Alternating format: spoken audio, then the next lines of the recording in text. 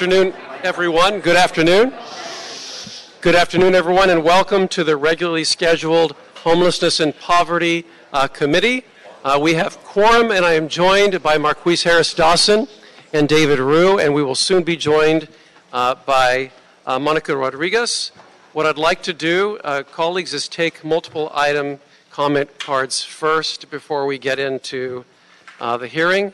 And we're going to start with Armando Herman, who has filled out a comment cards for general public comment and all items. Armando Herman. So two minutes for all the items and one minute for general. That makes three minutes total.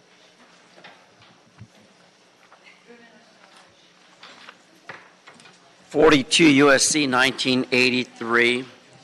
The conflict with existing state and local laws and regulations are fuck you bitches. I am the HHH committee here now from this and time. Fuck you. In addition to item number two in CD 10, and oh, Fat Mommy's in the house.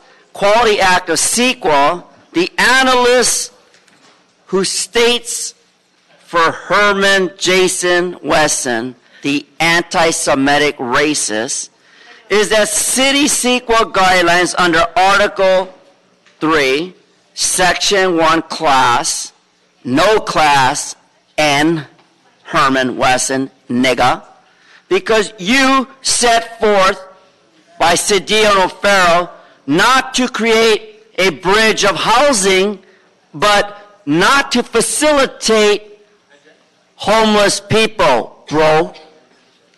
The tie don't fit bro, the same way that toupee on your head don't fit. Then on item four, Mr. Ryu the rapist back in his college days, I'm bringing up Los Feliz because in Griffith Park, to determine 42 USC 12101 of discrimination, why is it that we gay people don't have rights as equal as the non segregated gays under the LGBTQ queer?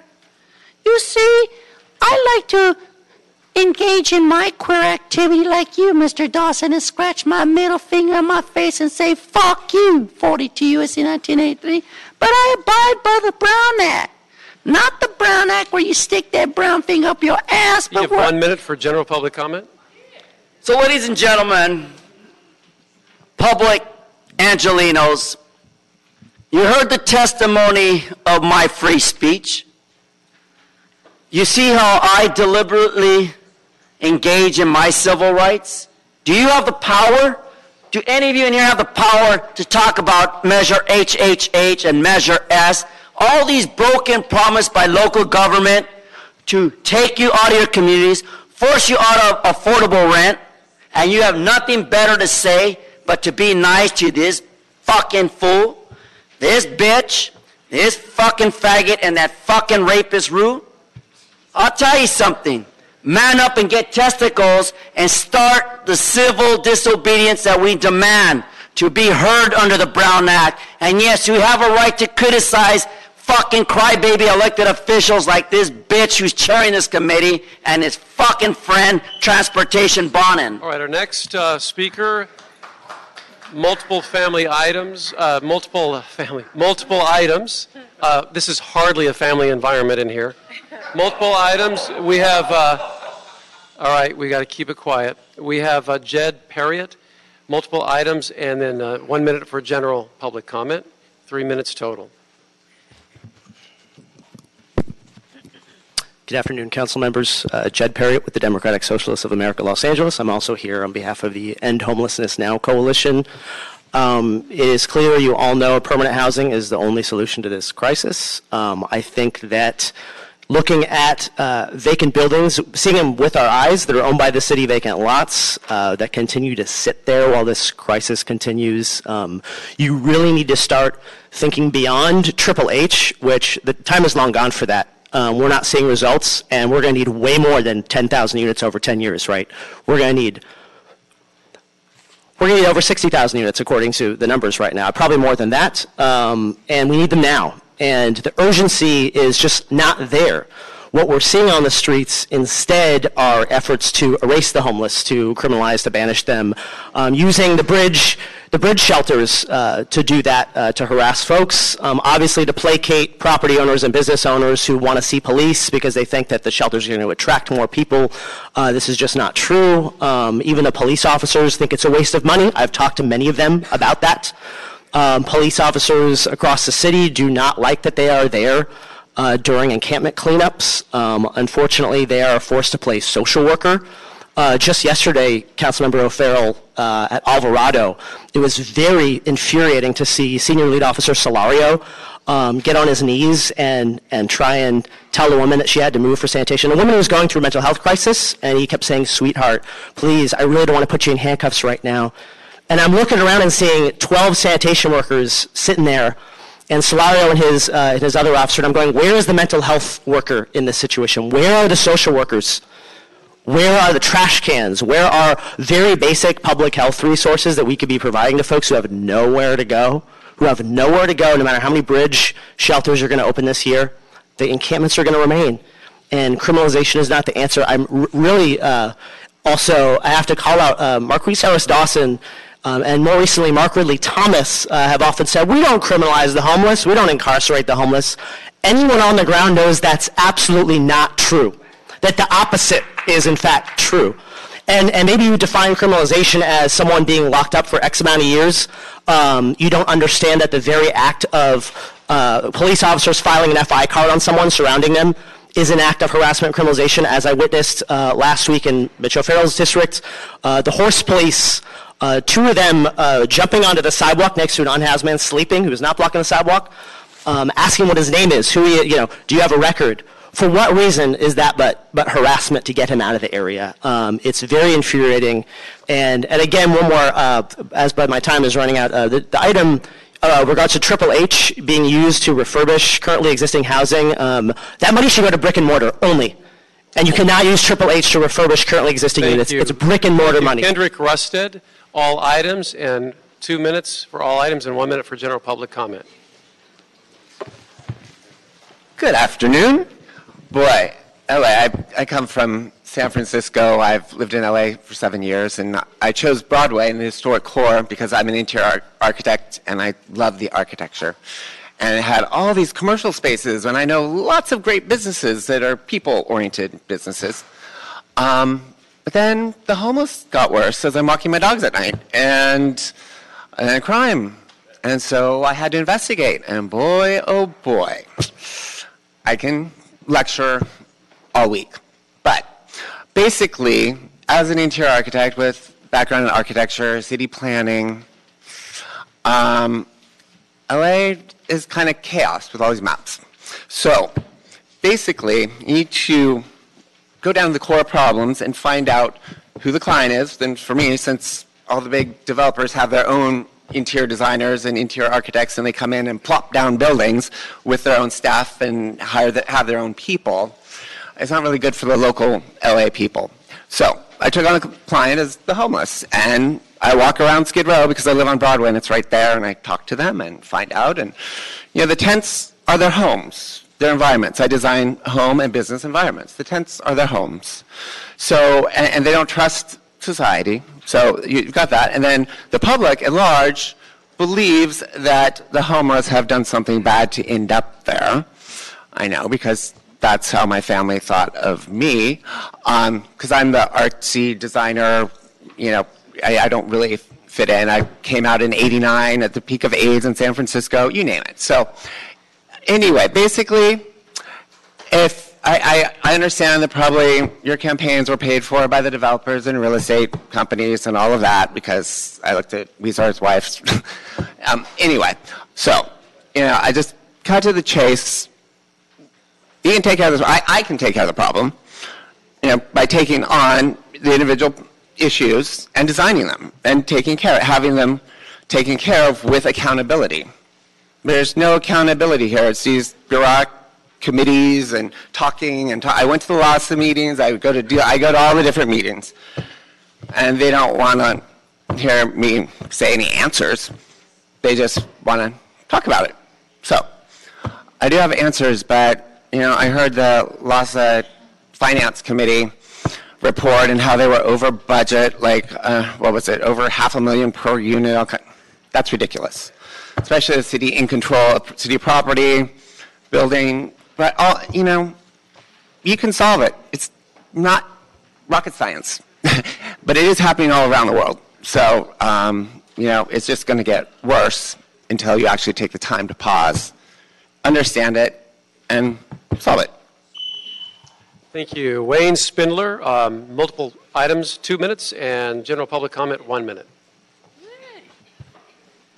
It's right. See, we know the foe is here. He, he tipping his head doing the 45 degree, yo. But you know what I here for. I here to talk about Herb Wesson and 1819 Southwestern Avenue. He gonna take the casa and turn it into a goddamn homeless shithole. That's what he wanna do. Why? Because Herb Wesson know he ain't gonna go on Vermont because the Korean community kicked his ass out of there at that parking lot on 6 in Vermont. Ain't gonna be no homeless shelter. It's a nice little parking lot next to the bank where all of my Asian friends go and park their cars. Ain't gonna be no temporary nothing. And then he goes down over to my little tennis courts over there at MacArthur Park and called Lafayette Park.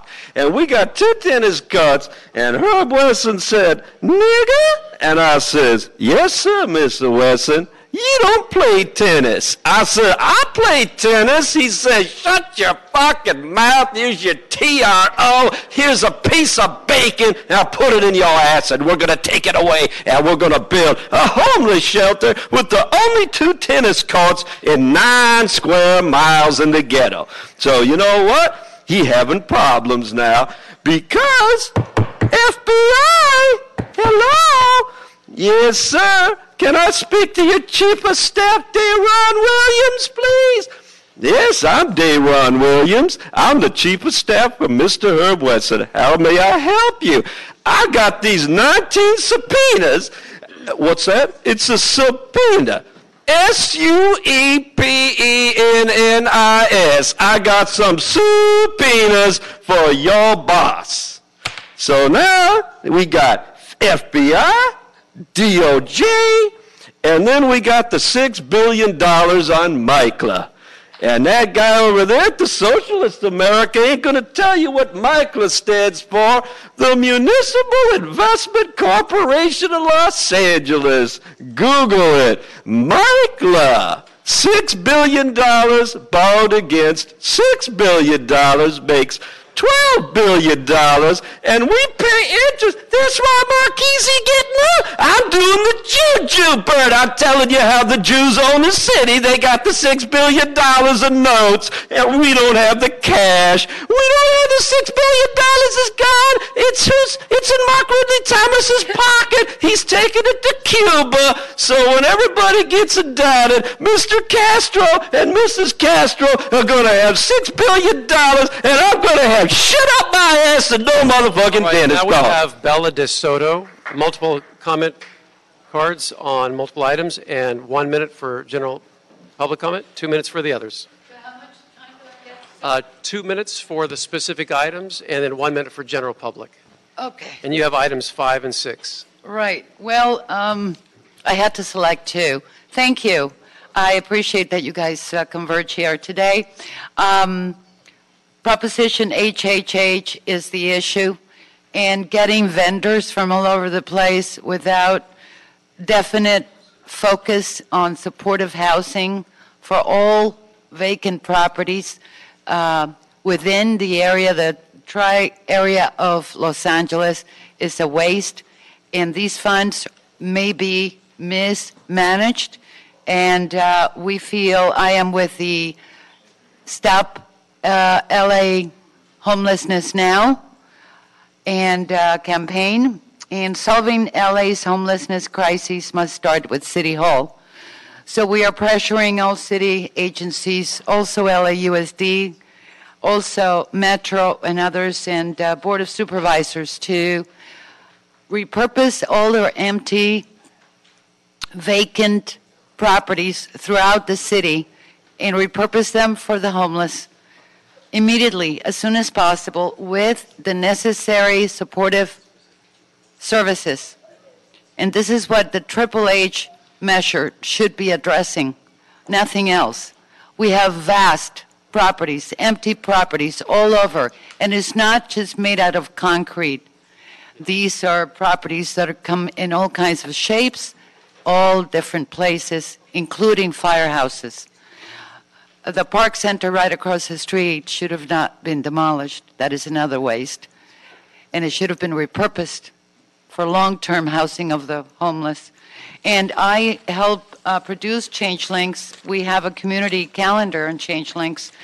And uh, one of the articles that was promoted was written by one of our ladies in our group, Why Prop 10 Failed in California in 2008 18, uh, with skyrocketing rents, a disastrous housing shortage, and a blue wave cre- cresting in the political arena. Pro, rent control measure should have been a shoe in in California's November 19, uh, 2018 ballot. However, it went up in flames.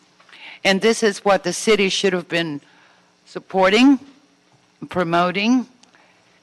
All around the city, Prop 10 should have won because Prop 10 would start stopping the hemorrhaging of evictions, which is the largest contributor to the homeless crises around Los Angeles. Prop 10 was very promising. I hope that it comes back again. I hope you take another look at it. It has to be more robust and it must win. We have to stop the hemorrhaging through evictions throughout the city immediately. Thank you. Uh, Next, we have Carla Alegria, who has filled out uh, cards on multiple items. So two minutes for those items and one minute for public, general public comment.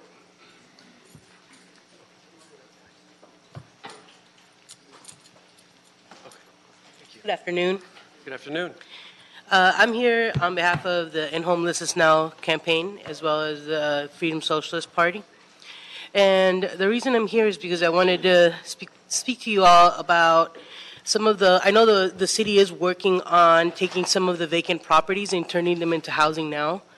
Um, I think that based on some of the thing, things that we've learned through talking to people and actually speaking to people on some of the uh, city council committees is that a lot of the a lot of the HHH money is going into that, but it's going through going through developers, and the money's going to the develop to the developers in forms of loans. Where uh, we want to implore this implore you all to instead of going through the developers, for the city to act as its own developer, and create those contracts and hire the contractors directly, um, in order to build permanent housing instead of bridge housing that is only temporary and also the housing that's being built by the developers that ends up going it, it's not a permanent public property um, we would like to see that become permanent uh, housing that with supportive services that it continues to be built so that we're able to house the 40,000 plus people who are currently unhoused in the city of Los Angeles. Um, and we really think that the services that go along with that are extremely important in order to help people maintain uh, maintain their housing. Because as we know, a lot of times people lose their housing because they're not able to uh, they're not able to maintain it due to health crisis or mental health or a variety of issues. Uh, so we really want to employ you all to do that and to for the city to be its own developer. Thank you. Thank you. Thank you so much. All right, we have uh, Claudia Brick. Yeah. Claudia Brick, you have uh, speaker cards on items five and six. So you have two minutes for those items and then one minute for general public comment. Whoa, look at me. Good afternoon. Everybody in LA knows that there is a homeless crisis in Los Angeles of humongous proportions. And people are starting to come around to the idea that the city should use its own properties and the county should use their own properties on which to build. And I have heard that a couple of people think it might even be cheaper and more efficient to, for the city to be its own builder, as if they were building a fire station or a community center. I've heard that there's problems um, maybe trying to get enough qualified employees to do that. But um, HUD just gave uh, Nickerson Gardens $3.7 million grant for its job center. The Black Worker Center also trains people um, to go to work, to hit the workforce. So there really, there really are ways to get this done um, with the will to do it. So um, I have, you know, I'm not going to dig them out now, but I have, you know, sample examples of places that would be appropriate to be built on and ways to do it. So I'm just saying the city should build it, own it, run it, and then the money goes back into the city for maintenance and additional housing, and that public owns the property instead of giving it back to the developers, to whom you've already paid hundreds of thousands of dollars. So we're just asking for you folks to step up and get it done. We're going to be like the little terrier dog hanging onto your pant leg until we see some action. Thank you. Thank you. Thank you. Um, All right, we have Marianne Curtis. Marianne Curtis, items five and six, and then one minute for public comment, so three minutes total.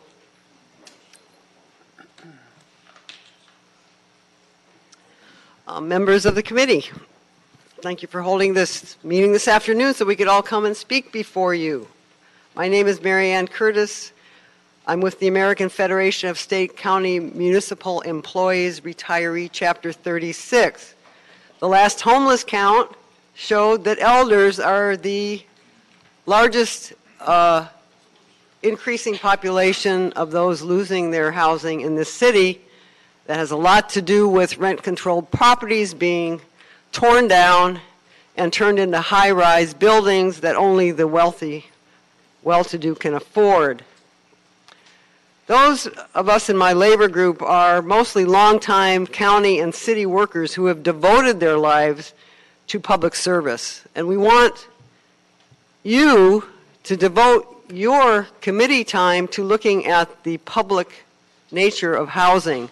Housing is a human right, um, and that you seriously look at these HH HHH dollars that the public intended to go to, as people are calling, the brick and mortar of supportive, supportive housing um, for the unhoused directly. And I think other people have spoken and are articulate on what we're talking about. Today, I was part of a press conference out in front of Parker Center, and the point there was that we want you to set an example by using vacant properties in City Hall's backyard. The two best examples are the Parker Center. Another example is the park on First between Broadway and Spring that is destined to become another nice park for those who can afford entertainment and such. But you've got people lined up in tents along the fence that separate them from that park. You have the option to do something with that property to provide housing, permanent supportive housing, quality permanent supportive housing for the unhoused. The UN was here a couple years ago. They toured Skid Row. Their conclusion was that LA has the public resources, they have, you have property, you have money, and the conclusion was is that our officials lack the political will to do what is needed. We're asking you to grow a spine, yeah, and, and stand up to the developers. Stand up to the developers. Use this money for the public, keep it in the public interest, and help the many of us and the many of people that are now on the streets to get back on their feet. Thank you. Thank you.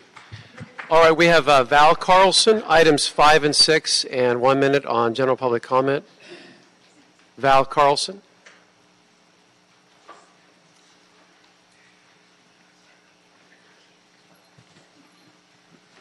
Good afternoon. Good afternoon. I was also at the um, press conference um, Ms. Curtis mentioned a few minutes ago. Um, Our message at that press conference was that solving LA's homelessness crisis must start in City Hall's backyard. And walking from Parker Center to here, we saw a lot of people huddling under the eaves as it was raining. As if anticipating our message, um, the articles in an article in the LA Times this morning uh, came under the title of LA promised more housing for homeless people, but some neighborhoods are way behind.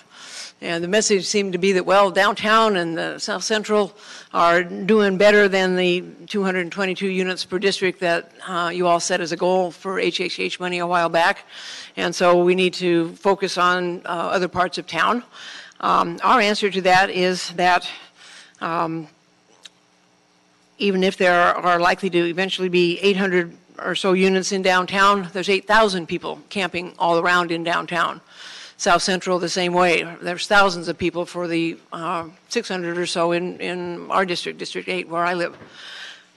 The solution has got to be to step out, to get more for the money, to make it public housing.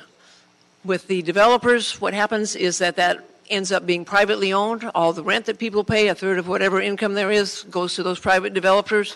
After so many years, those owners of that property don't even have to make it available anymore. And so we end up with nothing for all of our tax money.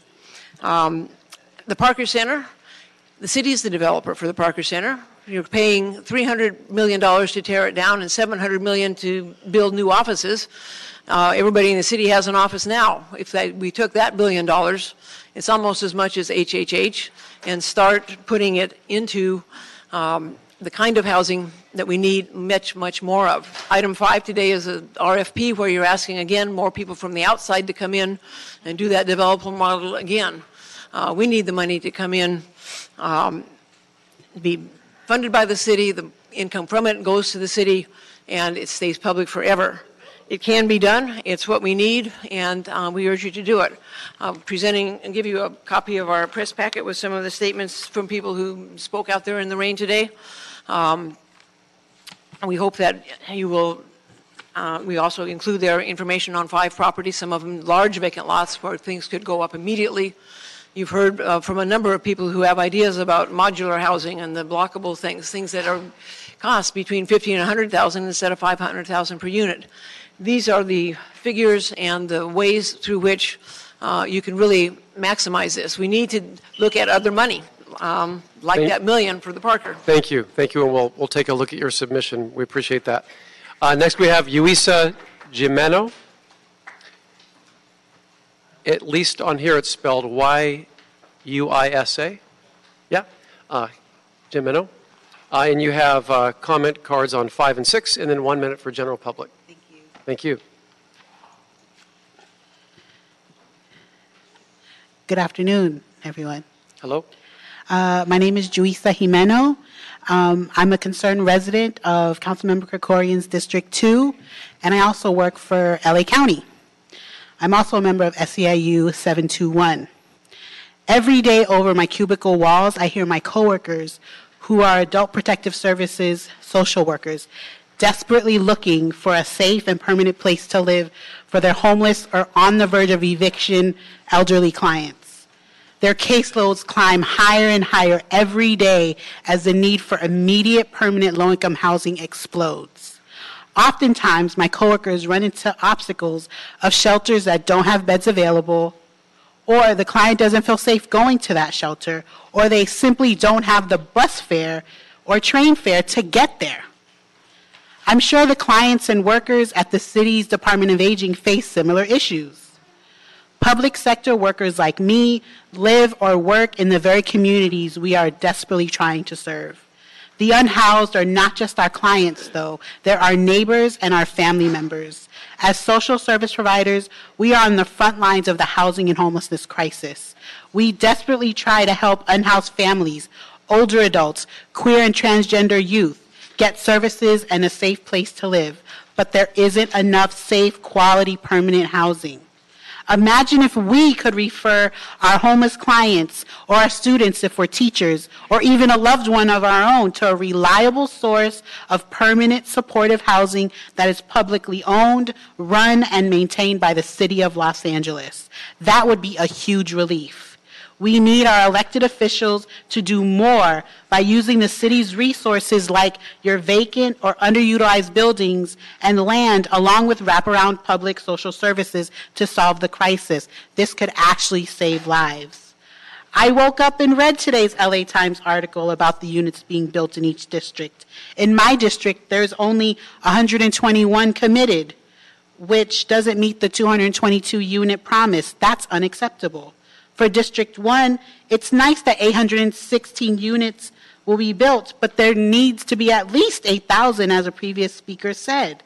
All the districts need far more than the numbers shown in today's paper. If you take bolder steps here in the city's backyard, where there's the largest concentration of unhoused people, your example will make it easier for others to do more throughout the city, and you could be a shining example for the County Board of Supervisors. Thank you. Thank you. Next, we have Andrea Theodore. Andrea Theodore, you have uh, a comment card for item five. You get one minute for that, and then one minute for general public comment. Hello, thank you. Uh, my name is Andrea Theodore. I'm here with uh, End Homelessness Now LA. We had a press conference across the street, and I think the problem is that there's a disconnect between city government and the public. The public is expecting emergency housing for homeless people now, not in two years, not in three years. So we have to look at alternative housing besides Measure HHH. We have to consider housing as a state of an emergency. So we need emergency housing. Um, in the pipeline now. You know, uh, we need housing equality now, not in two or three years. And the voters, they, they voted thinking that you know, we're going to provide homeless people with housing now. So the, the frustration that, that people feel is that there's a disconnect, there's not a sense of urgency, there's not even a council member for CD 14 you know, in the house. You know, it's like we just feel that we're, we're not uh, getting the housing that, that was promised to us. And there, there's ways to address the city lot across the street. You let Hollywood take over with their trailers and pay the city to set up, you know, uh, for uh, uh movie projects. LA Historic Park, you let people uh, take over for events.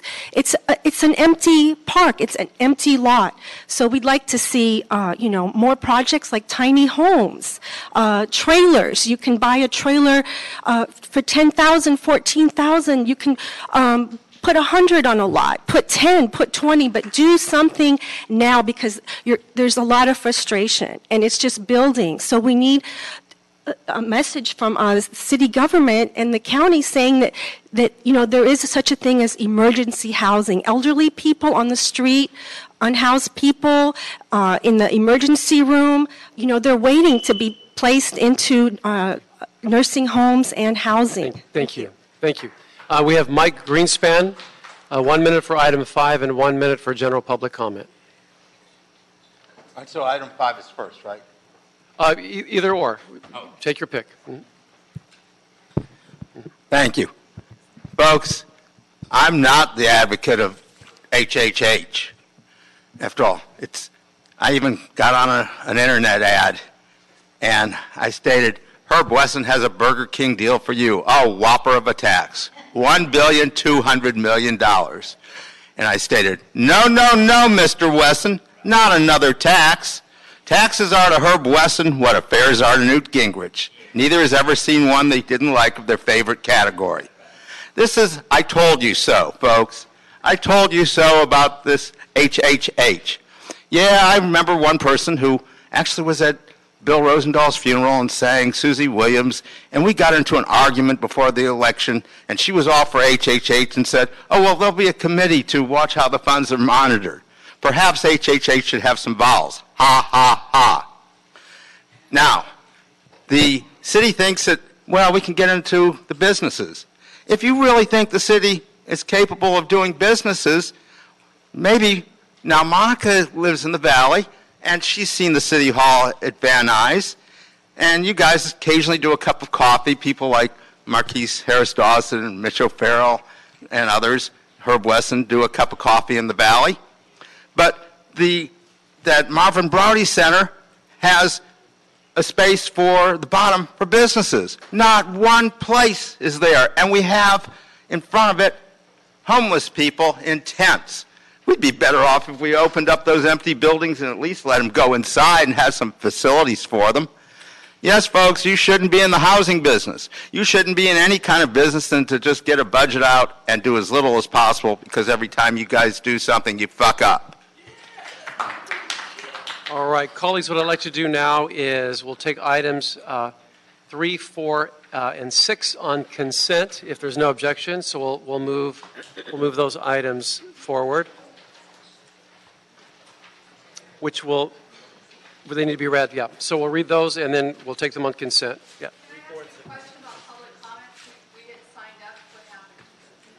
Uh, we're going to hear more comment, but we heard multiple multiple items first. So if you're, you're in the system, then you should be fine. You, you're welcome. Yes. Yep, Jack Reed, CLA's office. Item number three, uh, before I read the blurb, there's a uh, minor amendment to the address was transposed for Canoga, so it should be 7621 Canoga Avenue. So, uh, item number three, California Environmental Quality Act analysis and Jack, a category. little more into the microphone, please. Yeah. Okay. Item number three, California Environmental Quality Act analysis and categorical exemption from CEQA pursuant to Article 19, Sections 15301, Class 1A and B, and 15303, Class 3D and E, as well as City of Los Angeles CEQA guidelines, Article 3, Section 1, Class 1, 1, and 2, and Class 3, 5, and 6, as set forth in notice of exemption attached to council file in motion Blumenfield Rose Rodriguez relative to the property located at 7621 Canoga Avenue, Los Angeles, California 91304 for the purpose of establishing a suitable location for a bridge housing project. Thank you. Thank you so much. All right. So, uh, yeah. Oh, okay. Yeah, two. Oh, all right. They're, they're, they're, you know, long items. Okay. Item number four, motion Ryu Harris Dawson relative to evaluating the property at 3210 and 3248 West Riverside Drive in Los Feliz and Griffith Park to determine if the property is suitable for development as a bridge housing facility. And item number six is city, oh, and, uh, yeah, city attorney in Los Angeles Housing and Community Development Investment Department reports an ordinance authorizing the conveyance of three parcels of city-owned real property to 88th in Vermont MGP LLC with conditions assuring the city affordable housing purposes are carried out on the property. And this item is also referred to the Housing Committee. Are we good? Thank you, Mr. Reef. All right. So, uh, colleagues, then let's go ahead and take items three, four, and six on consent with no objection. Uh, and Mr. Reef, that brings us to uh, item one. Item number one, motion O'Farrell Harris Harris Dawson relative to an ordinance on the shelter crisis declaration that would align the city's municipal code sections 1280 and 81, 1281 with state government code section 8698 and ensure that the municipal code is not in conflict with existing state and local laws or regulations. All right. Thank you. Uh, colleagues, if there are no objections, what we uh, would like to do here is adopt this uh, motion as amended with the additional new language that the City Council resolve to do the following. Uh, to pursue the development of temporary homeless shelters under Government Code Section 8698.4. The city affirms that the same conditions which gave rise to the city's declaration of the shelter crises pursuant to Government Code Section 8698.4 last year continue to exist. Specifically, that the number of homeless people who need shelter significantly outnumbers the shelter beds that are available to them. Despite the city's notable efforts to develop temporary homeless housing, Thus, the city remains in a shelter crisis as defined by Government Code Section 8698, et cetera. Uh, Madam City Attorney, are we good on that? Yes. Thank you. All right, so uh, without objection, we will adopt the motion as amended with the additional language that I just read. All right, so that shall be the order. Uh, And then that will bring us to item two. We do not need temp shelters, we need. Okay, that's, you're going to have to not disrupt the meeting. All right? That's your, that's your, that's your first warning. Item Uh, number Mr. two, California Environmental Quality Act analysis and categorical exemption from CEQA pursuant to Article 19, Sections 15301, Class 1A and B, 15303, Class 3C, and 15304, Class 4A, B, E, as well as City of Los Angeles CEQA Guidelines, Article 3, Section 1, Class 112, and Class 4136, as set forth in Notice of Exemption attached to the council file, and Motion Wesson Jr., Cedillo O'Farrell, relative to the bridge housing facilities on city-owned site at 19 1819 Southwestern Avenue, and CEQA analysis and categorical exemption for CEQA pursuant to Article 19, Sections 15301, Class 1H, 15303, Class 3C, and 15304, Class 4A, B, E, as and the city's CEQA guidelines, Article 3, Section 1, Class 1, 812, and Class 4, 136 is set forth in the notice of exemption attached to the council file, and motion Wesson Cedillo O'Farrell relative to the bridge housing facilities on city-owned site at 625 Lafayette Place. Thank you, and I understand we have Meg Barclay from the CAO's office to give uh, an update and present some amendments. Yes, good afternoon, Meg Barclay, uh, City Homeless Coordinator in the CAO's office. Just a uh, minor amendment to the motion to add um, an additional recommendation within the second I therefore move clause, um, uh, which would be to, to approve the, the use of $350,000 from um, the Department 50 appropriation 50R VDI. crisis One moment, Meg, one moment. One, one moment. Okay, everyone, just cool it, please. Let's get through this, and I'm sure she's happy to speak up, but let's not have any more outbursts, all right? I, I really appreciate that. Ms. Barclay, please continue. So the recommended language would allow the Bureau of Engineering to use $350,000 from currently appropriated funds to start the CEQA analysis and geotechnical activities associated with these two sites prior to a development agreement being in place and to be reimbursed from the funds in this motion. This would just allow those studies to begin prior to the development agreement with the developer.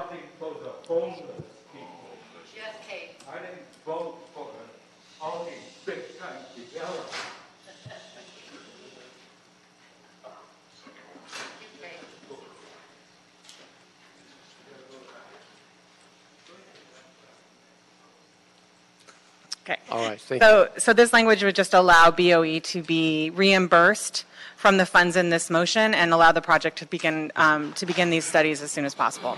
All right. Um, Colleagues, do we have any questions or comments about this item? No, seeing as that there are none, uh, I'm going to recommend that we approve the motion as amended along with the BOE CEQA determinations. Thank you. Yeah, thank you. That'll be the order. Uh, I'd like to now go to item five. Um, And um, Mr. Reef, if you'll please read item five into the record. Item number five, Proposition HHH Administrative Oversight Committee Report relative to the request for approval to release the Prop HHH Housing Challenge Request for Proposals. Thank you, and I understand Meg Barclay is going to make a reappearance, uh, and we have from the mayor's office, Ben Winter, city attorney's office, Michael Heinrichs, uh, for an overview. Hey, Mr. Spindler, you have been disrupting quietly all along, and so that's your warning. No more disruptions, no more applause, no more animal sounds. Thank you very much. Hello and welcome. Hi, uh, good afternoon. Ben Winter from the Mayor's Office. Um, so we're pleased to be here today to present to you all uh, this draft request for proposals with HCID LA and the CAO. Uh, that's you want to hold for just a moment? We're, he's disrupting on the way out, so let's just give him his moment, and then we'll continue.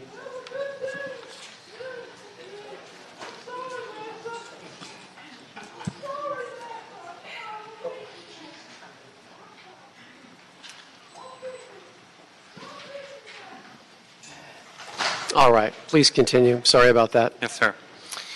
Um, So we're pleased to present our, the- this draft RFP to this committee that is uh, trying to seek innovative ways to deliver high-quality, supportive housing projects in a cost-effective and timely way.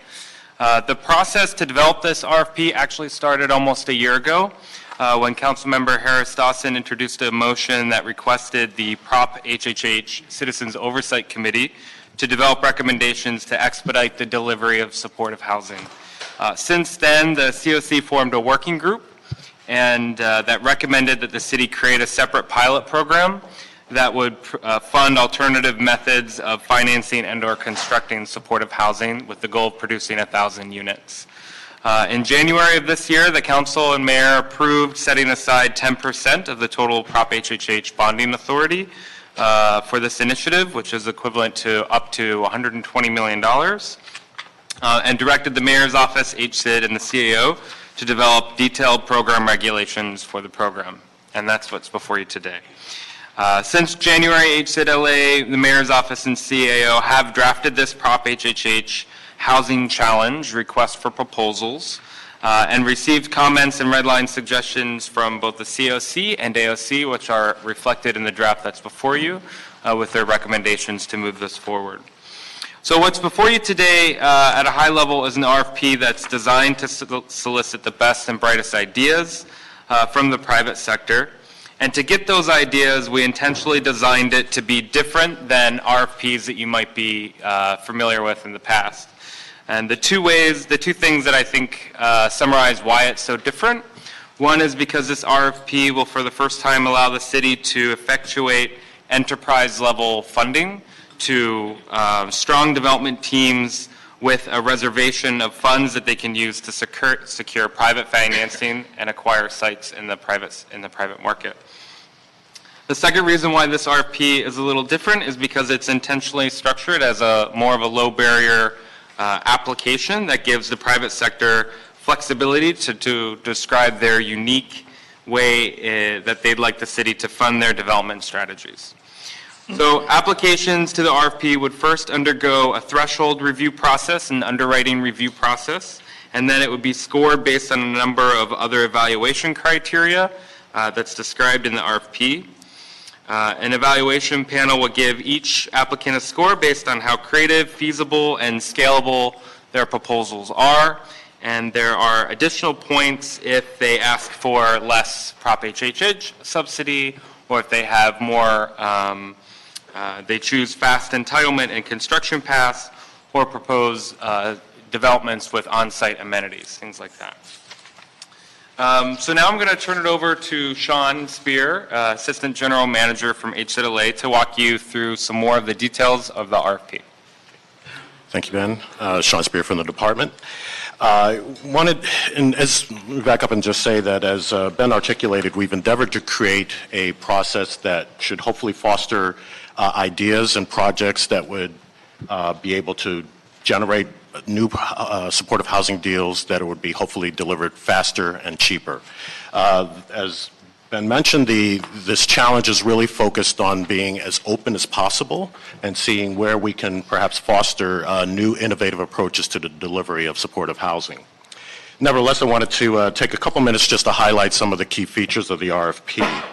Uh, The first is that it's essentially structured as two, two buckets. And the first being that um, project sponsors could uh, submit individual projects for which they have site control over. Uh, There's a criteria and evaluation criteria specifically focused on that piece. An alternative is they can uh, present a program strategy, which would ultimately produce multiple projects down the road.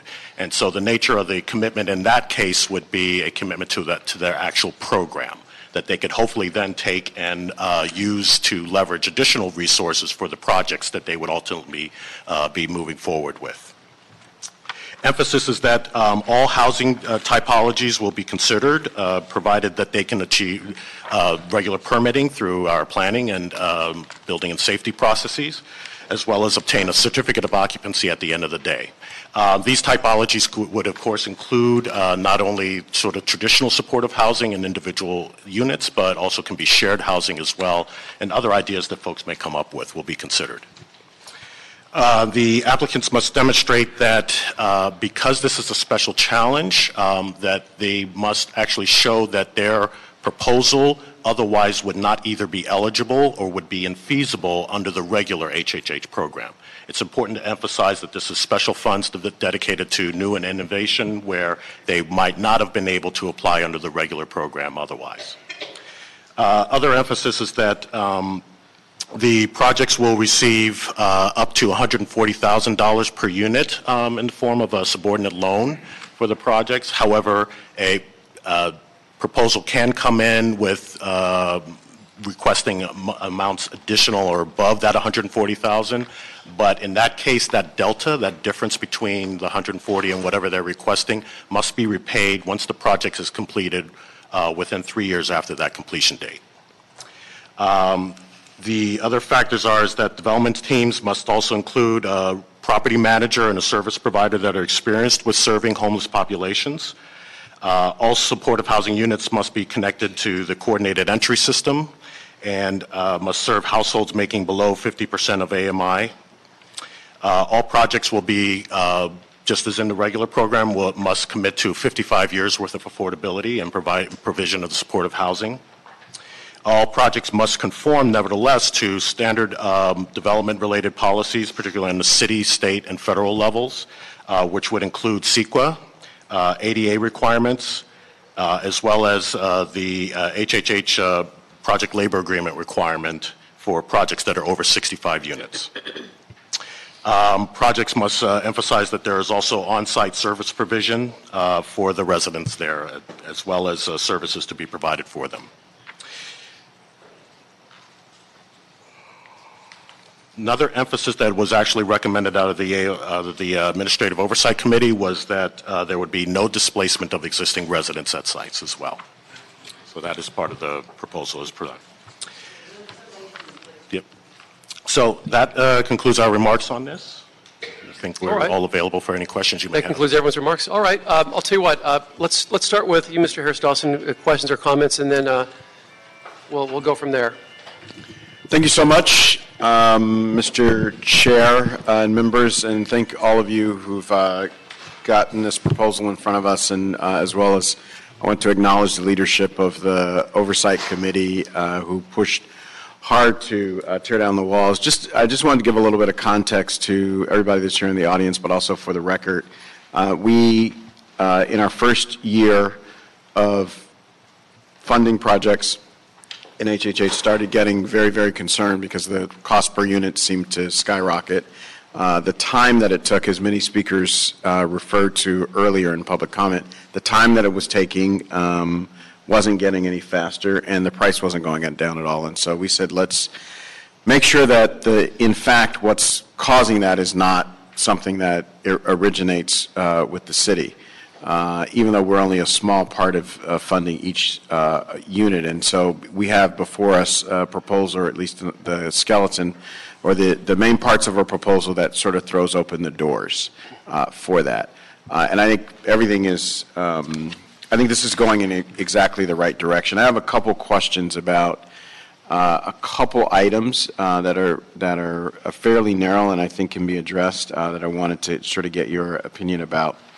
If, uh, my understanding about both the property manager and the service provider having experience with the specific population, uh, I had a specific question um, about that. So eventually, we run out of people who've done this work because we're building housing, right? And so people are getting work. So eventually, you won't have people who have managed homeless senior housing facilities, but we still need to build senior housing facilities, for example. So question becomes, what do you do in that situation? And I want to understand, is this written to mean, because I wasn't quite clear, was this written to mean a person who's managed a senior housing facility that isn't homeless people? Would that count? Is there something particular about people who are homeless that having managed a housing facility with that special needs population wouldn't count? Uh, Or is this meant to suggest if a person managed a senior housing facility, they could qualify and come over and manage a homeless senior housing facility. Yeah, I think the initial thought is, and it's a, an important one because this, this speaks to the heart of the capacity of the, of the, of the industry to absorb this amount of new projects that will be coming down the road.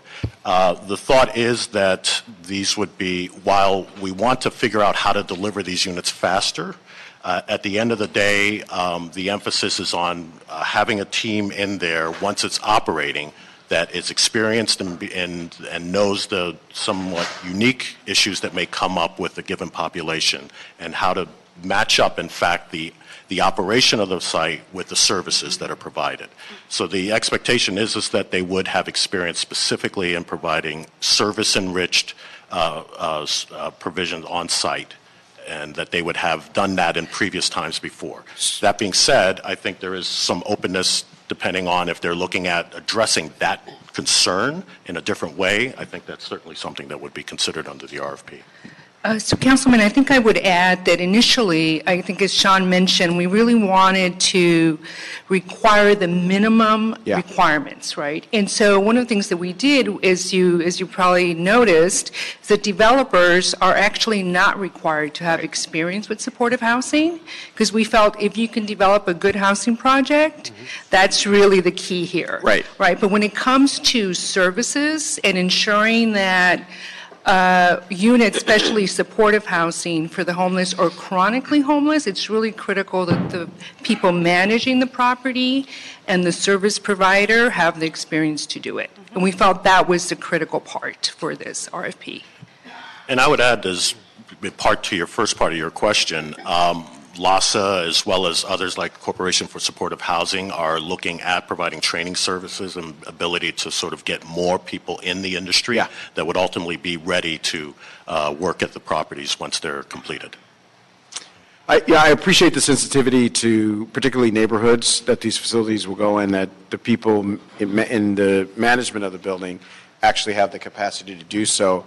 Um, I, I just, I would forward the, or, or put on the table for consideration the notion that, that chronically, uh, the homeless population, uh, homelessness is not a particular condition that requires special services for everybody. I might argue that chronic homelessness might be a condition that does, but I, I I have a hard time understanding if a person's managed a transitional age youth facility and I need them to manage a transitional age youth facility where the people had been homeless for a few months. I mean, they're transition age, so they couldn't have been homeless very long. They're not old enough. Um, I just don't, I, I, I, I just worry that that might be a barrier that's not necessary. Um, if, I, I care more about someone going to the facility that they manage to see how it's managed than I care about if the people in the facility had ever been homeless at one point.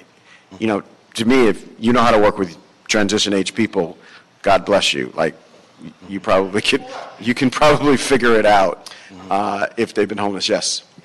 If, if I may, sir, uh, council member, I think there's, um, you know, if we look at the eligibility requirements and the thresholds for the property manager, uh, it, uh, we require that they have experience in managing at least 50 units for the past three years with persons with special needs. So that special needs definition is, is a little You feel like that's broader broad enough? for Okay. the property managers. When it comes to the service provisions, though, that's when we're trying to really get at the specifics. That makes sense. We want, we want, if, you know, we want these proposals to be very specific and clear about what uh, target populations they're going to serve, and then we want to see um, the service provider have that experience. So I think you'll kind of see as you go down this line, we want, you know, more specific experience. So developer doesn't have to have that much experience. You get bonus points if you do Mhm. have experience working with affordable housing, but it's not a requirement. Property management, special needs, and then it gets more specific. Got, so the special needs category is, is, is the broadest one that would cover the things that I've just raised here? so. Okay, great.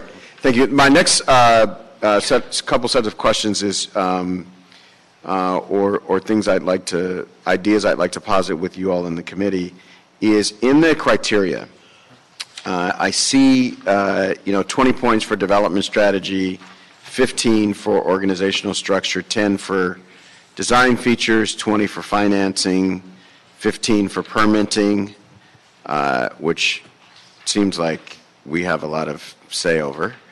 Um, So I'm not sure why we hold the applicant responsible for that. Um, And then 20, construction timeline. Uh, The part that jumped out at me was the lowest category, which is design. Um, And in, in the innovation fund, I, I don't want to advantage someone who gives a very simplistic, unimaginative, uninnovative design. I don't want to give that person a, a advantage over someone who tries to put forward an innovative design. Because the, you know, if, if you present a box with a window and a door, that's going to be easier to permit than someone who gives an innovative design. So that, so the way we have this lined up, there's no compensation, right? So, a- and in fact, um, you know, I think it, it looks at amenities, it looks at community amenities. Like, just what about putting a pretty building in a neighborhood? Like, should, I, I just feel like that should count for something.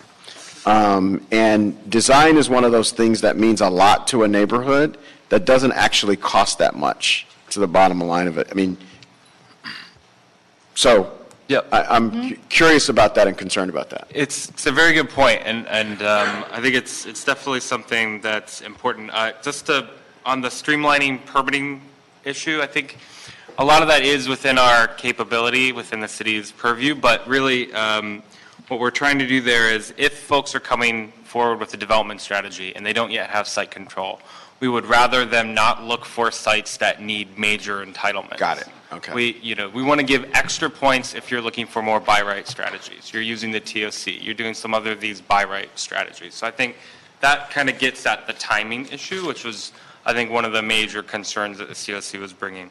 It, so it, it might be useful to spell that out. Yeah. Yeah. Yeah. Um, on the design, I think that's a really good point. It's, um, some of the design features, there's some objective criteria that are pretty easy to score. If you have complete units, that's easy to figure out in a scoring criteria. Right. Um, if there's a more subjective decision about, well, what's good design in a neighborhood, I think it re, that, that's more difficult to score, but we did try to incorporate that here. Um, on three, the panel design review, so gave like a little bit of a four-point scale for uh, um, the, the, the panel review there on design. But that certainly could be beefed up if that's, Yeah, I would, I would love some more thought on thinking about how to encourage innovative design, the same way we're encouraging innovative financing and innovation in all the other areas. I think that's very, very important. And then my last uh, question, uh, Mr. Chair, is connected to that. Uh, I did, it may be here, but I didn't necessarily see it. Um, How are we scoring folks on their community outreach and community engagement in the neighborhoods that they're seeking to build, right? So do we, does, I don't want to put folks at an advantage who don't say anything at all to the neighbors ever until it comes up, you know? If, if someone says, I'm going to do the work to go out to the neighborhood as I'm developing this, and they can demonstrate that in their application, I'd want them to get some advantage over someone who didn't. So that's the, uh, the other piece I'd put, put forward. I'd love to hear any comments or thoughts you have on that, but that, that concludes my questions, Mr. Chair. So we could, we could definitely add, I thought it was in here, but we could add an outreach strategy Okay. section. Yeah. Have them describe it. All right. Thank you, Ms. Rodriguez. Thank you, Mr. Chair, and thank you, Mr. Harris Dawson, for those, that line of questioning. Design is an important element.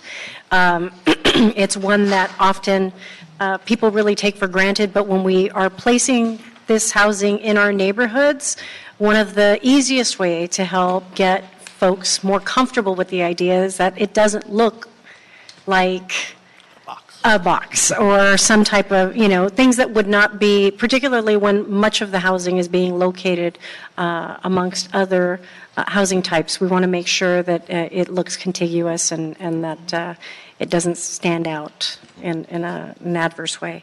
Um, but uh, I, you know, I had a question. So I know it was, you know, brought to the attention. It was corrected on the requirement that the uh, the displacement uh, that we avoid displacement uh, through the development of, of these, uh, potent, these properties.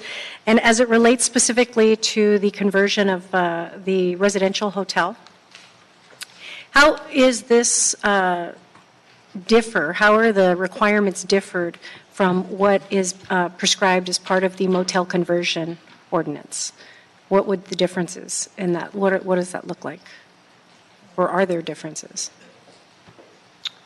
At this standpoint, there's uh, specific guidance in the HHH regulations around adaptive reuse, and specifically, it talks about that existing residential units are not permitted to be used for HHH in terms of acquisition, rehabilitation, things like that.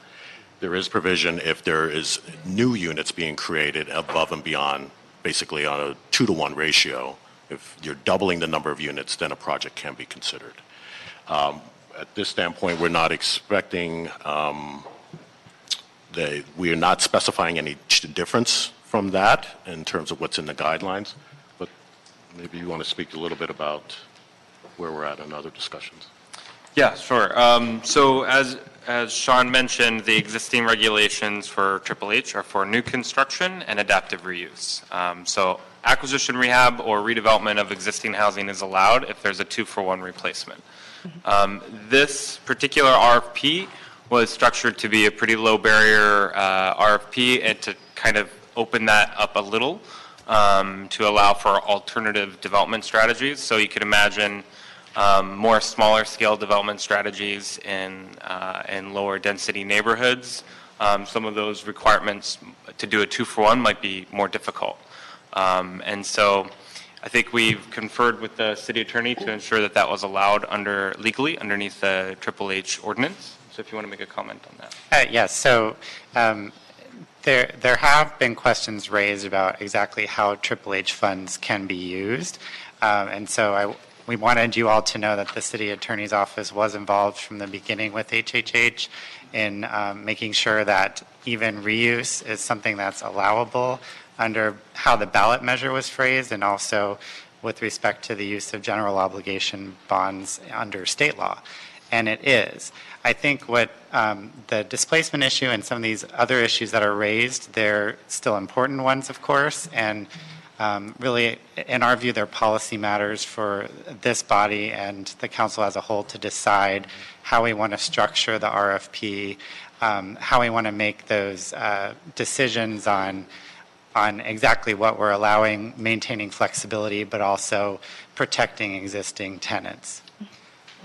So, so to give an example, let's say there's a small-scale, five-unit derelict residence uh, uh, existing building that has been vacant for 10 years. Um, uh, That would not be allowed under the existing Triple H regulations, right? So if there is some of that, some very underutilized housing stock out there that, you know, could be activated with, uh, with a little bit of rehab a- and a new mission-driven developer and turn that market rate development into long-term affordable housing with the covenant with supportive services on site, that kind of development strategy is not allowed. So the idea for this RFP is if it is allowed legally under the ordinance, if this is our one-time shot to kind of open up all different kinds of strategies to get, um, to create affordable housing, specifically supportive, so affordable housing, then this could be that one opportunity to do it, not changing the bread and butter HHH program. Thank you. Thank you. And um, I have a, a, a few questions to ask, but I want to start with the whole displacement piece. It's, it's in my, uh, on my list here. It's my understanding that the RFP draft has already been amended to require no displacement. Is, is that accurate? Correct. All right, and so the details of exactly what that means, I'm sure, will be more fleshed out.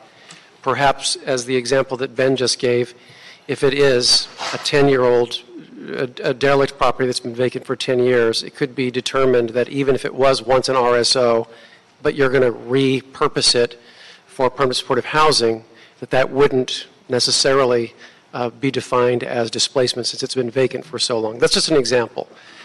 Uh, So, so that criteria will have to be uh, very articulated. Yeah, so, because displacement, of course, is an issue. Um, But, and I was going to talk about, i- in terms of, Mr. Harris Dawson and and Ms. Rodriguez both mentioned uh, aesthetics. Uh, And not only is it important for a structure to look really good for the neighborhood, but it's really important for the person who's occupying the space. And that shouldn't be lost either. Uh, We know that spaces can inspire and make you feel better about your immediate surroundings. And I think it's a really wonderful opportunity. No one expects, you know, the, the Rolls Royce of, you know, homes or apartments. God knows that's not where I live either. But, but spaces that, that respect the individual, I think, are, are um, important uh, in this in this conversation. Um, my questions. Uh, I'd like you to explain the how the RFP's proposal allows the $40 million reservation piece of, of this RFP for Prop HH uh, funds, um, and in relation to the $120 million for the innovation um, uh, project. Yep. Uh, Can, what does that mean? Does that mean that the RFP could be awarded to just three projects? If three projects are scaled out to cost up to $40 million each? Could you just elaborate on, on that arrangement? Sure. So I think the, the concept of this is, um, I forgot who, who brought this up to me when they were reading it, but it's sort of like a hunting license, and I don't hunt, so I, I don't know if this is a good analogy. My brothers do. But think about it like if you've, um, you know, we've structured this, this application, a specific application, right? Asking for development teams to put together their best and brightest ideas to go out there and acquire sites pursuant to a very specific strategy. And so uh, if they would be selected and raised to the top, um, then the city, you know, process would set aside a reservation of up to $40 million. That isn't, uh, that isn't a, a conditional approval that individual projects get, right? Right. So with that reservation, that reservation is only good for four months because this is supposed to be a quick process. Um, And if they're going out there and looking for parcels that, you know, are, need major entitlements and can't really go through the process, then maybe that's not the right strategy. So they would be available for four months, and then um, once uh, that agreement is signed for the four-month reservation, then they would go out, acquire parcels, and then turn individual parcels into conditional approvals for individual projects. Those conditional approvals, currently, they're 24 months long. In this program, it's only 12 months long, because we're really hoping to get quicker projects. Um, So if during those four months, that development team cannot uh, actually acquire sites to meet the total amount that they're looking for, then that reservation goes away.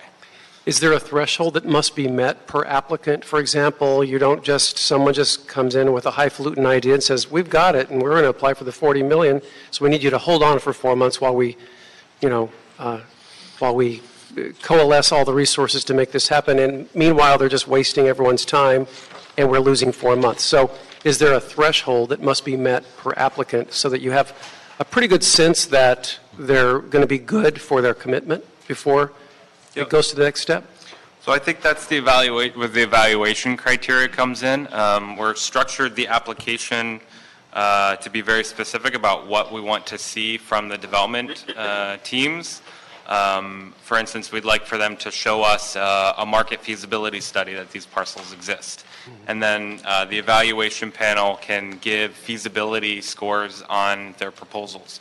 And if uh, we, the the city's evaluation team, sees that it's a a wacky idea and they didn't provide sufficient evidence, and of course, their score would be very low, and then would, they'd rise to the bottom. And would you also, oh, go ahead, Yeah, I would please. just add that Mhm. even, Fall to the bottom, even if right. they are awarded, that then there is, there's an initial two-month period where there's a, a more thorough discussion with that, that sponsor around their strategy and the timeline needed in order to accomplish that. Then there's that additional four months for them to actually s- secure sites.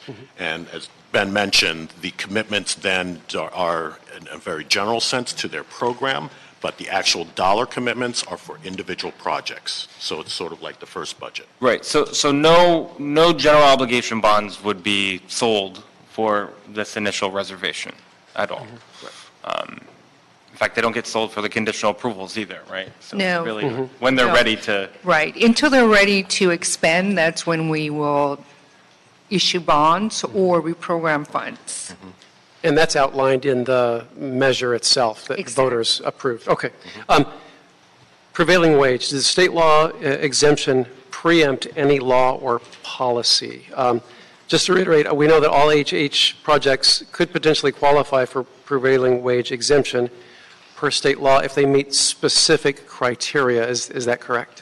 That's correct, yes. Yeah. And I would say that um, under the existing HHH program, uh, the, the way that the- possible labor code exception that's already state law could be applied, you can only have one single source of public funding. Those types of projects just aren't what HCID normally deals with in, in terms of they're paired with bonds or tax credits, other sources that would bring them again into prevailing wage. So we are outlining in the RFP what is an existing exception that parties might qualify for, uh, so long as the only source of public funding they were getting is this HHH loan. And the loan program that Sean outlined is essentially, it, it meets all of the specific requirements that are set out in the exception to Section 1720 of the Labor Code, which defines public works projects. we would say though, um, you know, what we, what we as a city cannot do with this RFP is waive existing ordinances. An ordinance is an ordinance. So for instance, the, the PLA, the HHH PLA would apply for all projects funded here if they meet the PLA's thresholds. Mhm. Okay. All right. Um, Just jumping right ahead, uh, for projects that can pen- potentially receive a per-unit subsidy in excess of 140,000, if that excess amount can be repaid in three years, right, that's, uh, that's how this is um, envisioned, how do these projects uh, and the, the project teams prove they can repay the funds in three years? Is there a cap on additional funding? Um, That, that in fact will be part of the feasibility analysis that the team would do, is to confirm whether or not it's realistic for them to be able to pay, repay those dollars within three years after completion. And is HCID planning on underwriting this? The collective. Basically, it's a loan program, essentially. Yes. Mhm, Okay. Um, Review panels. So is the review conducted in a public hearing? Um, Publicly noticed? Brown Act noticed? Uh, And are there any, any additional information in relation to the review panels? I, I think I can say, in, in terms of scoring, that's all done privately. That's not. The scoring is done privately? Yes. Now, the, the process allows for essentially um, both a threshold review and scoring process, and then a, essentially a public meeting that parties can go to to get feedback on the process, correct? Um, and I think Ben or Sean can outline how that works, but there is, there is a, a way, a method within this process that does have more public comment, um, but the actual scoring of each individual project is still done privately. Mhm. Okay, so the score, uh, yeah. So I would add that it's uh, extremely important, right? Because unlike the county competition, this is 100, up to 120 million of general obligation bonds, and we have to create housing units with these funds. So there would be, of course, a threshold review is a pass-fail, and you're really just scoring that the applicants submit all the required documents, do they qualify? The next scoring is really on their proposal itself, and that would be done by qualified underwriters, which I can tell you I'm not one of those people, but mm-hmm. it has to be done by an underwriter because they have to assess whether it's financially feasible. Then, if there's another type of review for design and other things, then you can have other panels. But that financial feasibility is very critical because if it's not financially feasible, that project should be scoring a zero and not move on to the rest of the review. Right, yeah. Okay, so, Uh, Just a couple other things here. Um, You know, the, the people who get selected, the applicants that get selected here, will have, will go to the COC. AOC, and back to Right. the council. So there will be that the public existing process. infrastructure of the HHH disbursement, yeah, okay.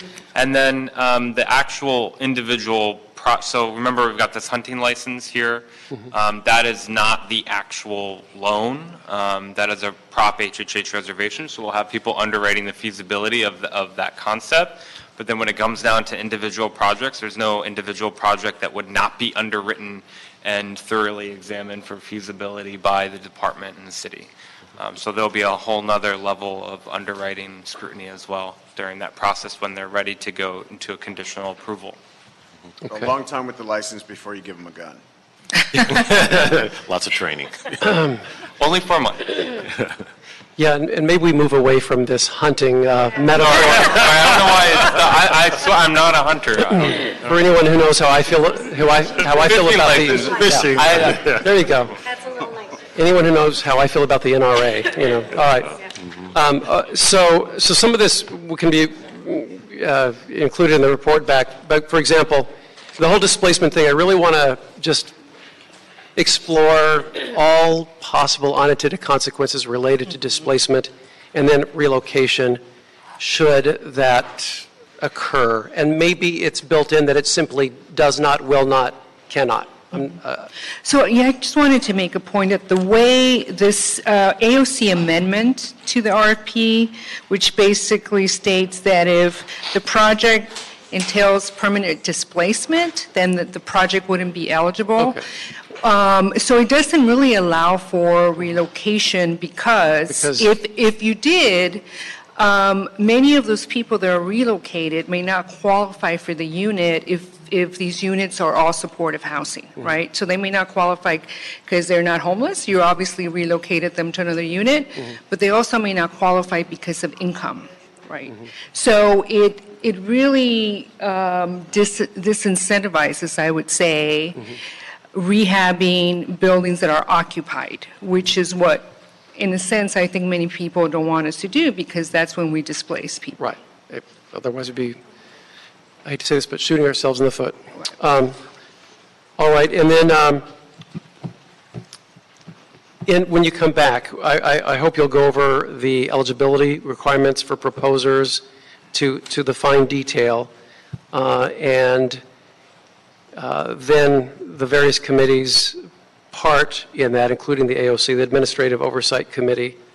And then um, the, uh, the Prop HHH, um, Permanent Supportive Housing Program, requires a service plan. Does the RFP in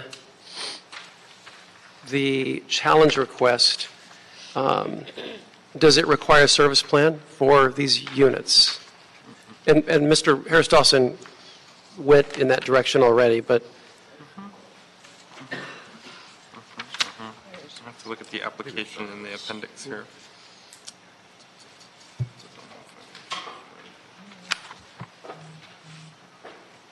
Uh, so Page 20 is uh, in the application uh, process. So this is the information that we're requiring that applicants give to the city through the RFP.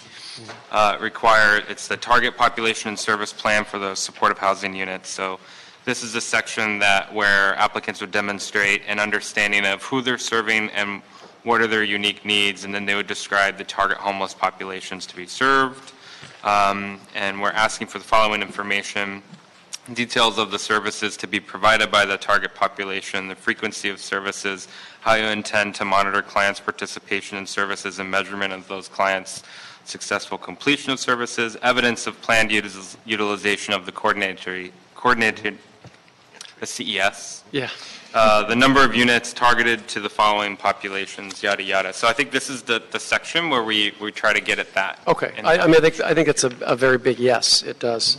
And then lastly, Mr. Spear, you brought up um, qualifications for 50% below AMI. So we're talking about, are we talking about a blend of extremely low income and formerly homeless individuals?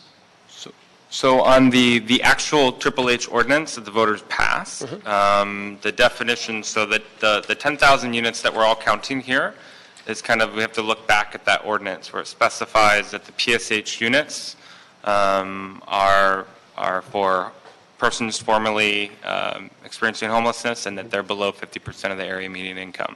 Triple H, as you know, can go high, we can fund affordable housing up to 80%.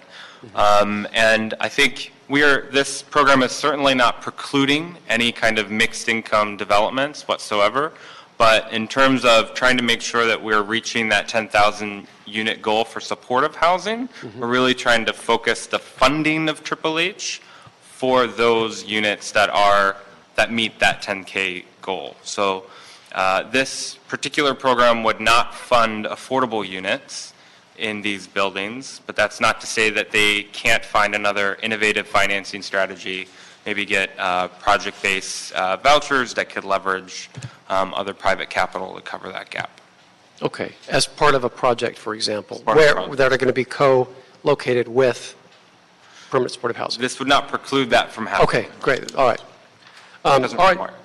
so, well, well, thank you. Uh, Any other questions, colleagues? Appreciate it very much. Thank you so much. Um, We're going to take public comment on this item now. Um, There are some comment cards specific to item number one. Thank you so much, everyone, for, for your, yeah. Um, Before we make recommendations, and we're going to start with uh, Barbara Schultz, Adam Rice, Catherine Jara, and Steve Diaz. If you could all step forward, uh, and maybe we can find another couple of chairs and, uh, to go, and we can, what chairs? Okay, they're just low, I can't see them. Um, All right, so Barbara Schultz, Adam Rice, Catherine Jara, and Steve Diaz, and you all have one minute uh, each. Right. Uh, Good afternoon. Barbara Schultz, Legal Aid Foundation of Los Angeles, uh, representing LA CAN. Um, When Angelenos voted for HHH, we believe that we voted to fund new housing, as that's, additional units are needed to alleviate the homeless crisis. Using HHH money to acquire or rehabilitate existing housing betrays both the voters' trust and also, we believe, unlike the city attorney, violates the intent of the voter initiative, and we are confident that it will be found unlawful by a court. Um, Please review the example of the Royal Park Hotel in our demand letter, an existing residential hotel funded by HHH in violation of current regulations. This landlord was sued for using a variety of unlawful business practices in order to displace his poor tenants. The city's response was to provide 10.2 million of HHH funds and tax credit funding in order to create affordable housing for other poor tenants. My time. Thank you. This Oh, attempt, this attempt to rush new housing into the because we- we pipeline is an incredible waste of taxpayer money, and we urge you not to do that. Thank you. Sir, you still have your time. Right on. Well, Councilmember Harris Dawson made an important point earlier. Um, Of course, the price per unit went up because the vultures smell blood in the water. As Sister Barb was just discussing, the Royal Park Motel could be eligible for $10.2 million from Triple H. But the Royal Park Motel is not eligible at all. So tenants filed in March 2018, uh, extremely low-income tenants, tenants' rights groups filed a lawsuit against this hotel because of uh, uh, habitability violations, rent control ordinance violations, uh, and illegal evictions. How does this hotel come under that funding? That's maybe something some of the councilmen didn't think about. I know some of the more corrupt ones did. But some of the good ones maybe didn't think that slumlords would be on the list too. Thank you. Uh, Catherine Jara and Steve Diaz. Council members, good evening. Um, was passed for new housing. So my ask today is that that stay the focus. I know there's a lot of need for other things, but this was focused on that. And if, I mean, just please don't use it for rehab because we do need more. Just more. That's what I'm asking for. Thank you.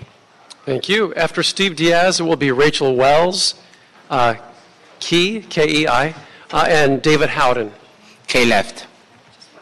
Good afternoon, committee members. My name is Steve Diaz, and I am with the organization known as LA CAN. I'm here today to support, as many other speakers have said, the need not to include rehabilitation of existing housing as part of this innovative pilot program. The importance of the pilot program is to create additional housing and create a net gain, not help facilitate a net loss. The example that was mentioned by the Royal Park can happen again by the way the current regulations are set. Our goal is to ensure that folks are able to provide, or be, are able to be provided with extremely low-income housing and that the 10,000 units that were originally promised to the voters are met. By allowing rehabilitation to be included, it creates a loophole to ensure that at the end of the day, we might end up getting lesser amount of units than we originally intended. Thank you. All right, Rachel Wells? Hi, my name is Rachel Wells. I'm a volunteer with LA Can. I, like many other voters, voted for HHH because we need more housing. In order to address the problems of homelessness, the solution is more housing. And so we voted on this so that we could add units to the housing stock. So I'm here with a concern about rehab and using HHH money for units which ha- could have existing tenants in them. We should not be using HHH money to displace current tenants. So I'm here to urge you to use sort of the original purpose of HHH and not to include rehab as a qualifying use. Thank you. Thank you. And after uh, K, is that right? No, K-E-I. Okay, not here. All right, so David Howden, right, followed, uh, will be followed by Matt Nichols, Friedel Cushman, and Chris Roth. Hi, good afternoon. David Howden, uh, Director of the CSH office in Los Angeles. As a partner of uh, the city investing in these same projects, um, we work closely with HCID and the mayor's office, et cetera, to ensure the success and want to maximize uh, the impact of these funds. Um, through our 30 years of experience throughout the country working with communities to build supportive housing, we know that the development is a first step and not the long uh, term uh, goal of these dollars and want to remind folks that it is a long-term tendency and supports that it takes and experienced uh, providers doing that uh, of all of all types um, that get us to that true measure of success uh, in achieving those goals. Um, so we want to make sure and emphasize that it evidence has shown it is only through the long-term committed experienced partnerships um, and that dynamic partnership between the developer, service provider, and property management that allows this to be possible and provides the supports necessary um, for the tenants to be stable and remain in housing. Thank you, thank you. Uh, Matt Nichols, Friedel Cushman, and Chris Roth. Hi, Matt Nichols here with DLA Piper. Uh, here on behalf of, um, we represent multiple affordable housing developers. I'm here to speak to um, some, first of all, the excitement over the HHH challenge language and the opportunity it presents for uh, the ideas from the private sector to uh, help solve the city's affordable housing problem. Um, and also offer two suggestions which I think um, made to the current language would, would open, open the program up to these developers and, and help them get to uh, build or bring on affordable housing. The first one is the current eligibility requirements uh, on page five, I believe, of the, uh, of the language, which cites to the experience required of the developer.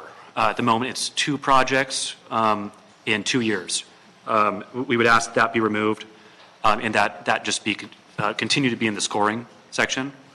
And also the bond issuer, we would ask that Cal PFA or, or other options other than uh, HCID be allowed in the event that HCID cannot meet the um, current timelines. Uh, we understand there's a big pipeline and. Thank, thank you. Yeah. Thank you.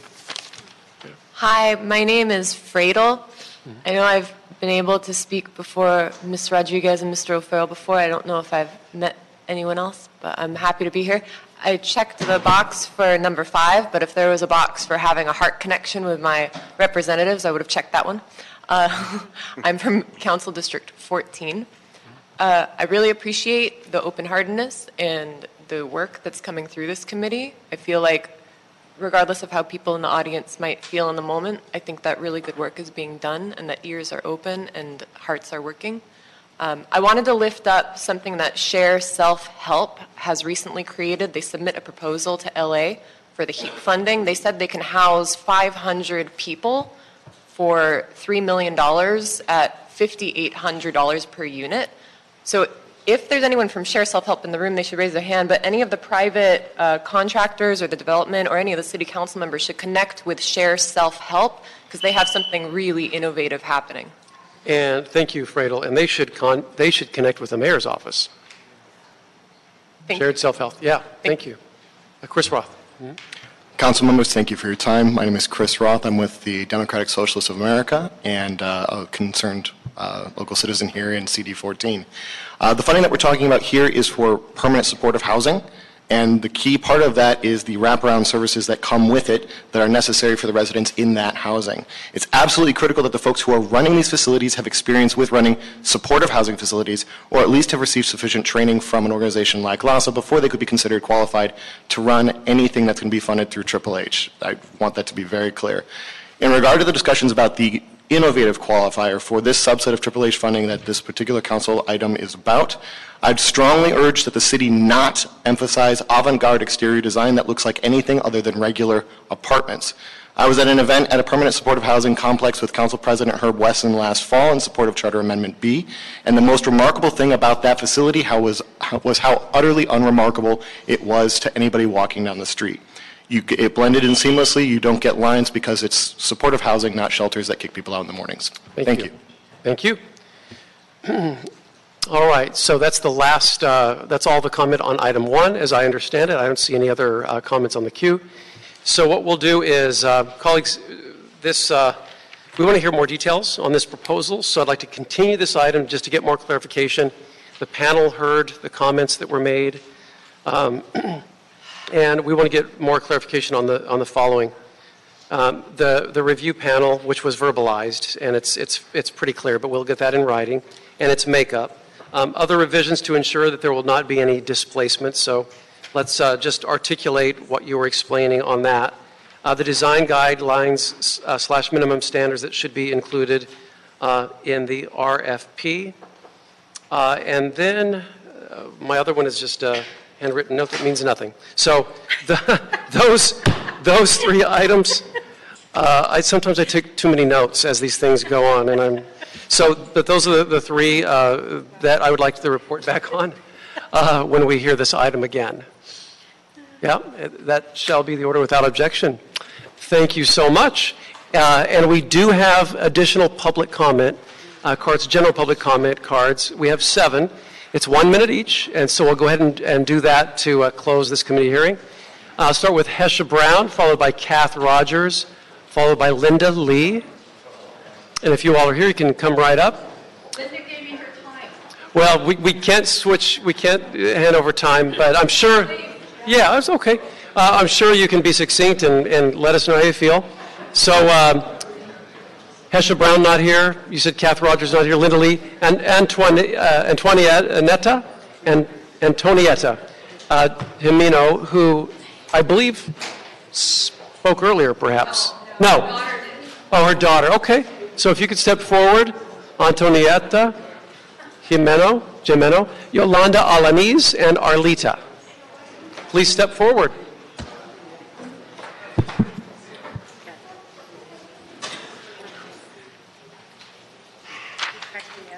Screw us.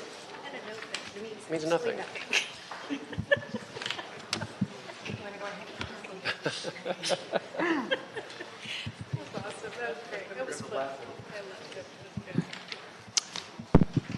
All right. Hello. Okay, my name is Arlita. I was downsized from the Cultural Affairs Department about 10 years ago. Then my mother died. Then I lost my apartment due to an illegal eviction by Stephen R. Rose. He, the case was done with dirty hands, per my attorney, Louis Rafty from Skid Row. Now I have stage 4 metastatic bone cancer. If I die, thank you. My mother died waiting for affordable housing. I know that the city council, many of them are embedded with the developers. What is being practiced these days is an economic genocide. I live in East LA, East Hollywood area, where boxes are being put up. Single family homes are being torn down and boxes are being put up. I lived there for 44 years. I think what's happening is disgraceful, it's criminal, and I'm a senior citizen, and I'm going to leave Los Angeles if it goes on. The rents have to be frozen. Thank you. Freeze the rents. Yolanda Alaniz with the Freedom Socialist Party. I just want to say I take on the record I'm against the racist and anti-Semitic statements that were made earlier. Thank you. On owning and building and running it, you could save yourself a lot of time and money if you just did it yourselves and got the experts who live uh, and serve the, com- the community uh, to help you. Why give up prevailing wages? Because then you're going to add to the already homeless population. Workers need prevailing wages. You, you're going to get what you pay for. Cheap wages, you're going to have a cheap product. You should pay union wages and hire union workers. And um, they should hire people who have lived, experienced, and been unhoused to manage and provide services at the site. And forget the bonds. We're taxed to death. I own a home that I can barely keep. Don't tax us anymore. You're taxing us out of our homes, and we're going to end up on the streets. And quit cutting breaks for the developers. You don't cut, give us any breaks. Thank you. Thank you. All right, and that, uh, that clears the desk, yes? Yeah. Um, All right, so that's all the items, and uh, this meeting is adjourned. Thank you.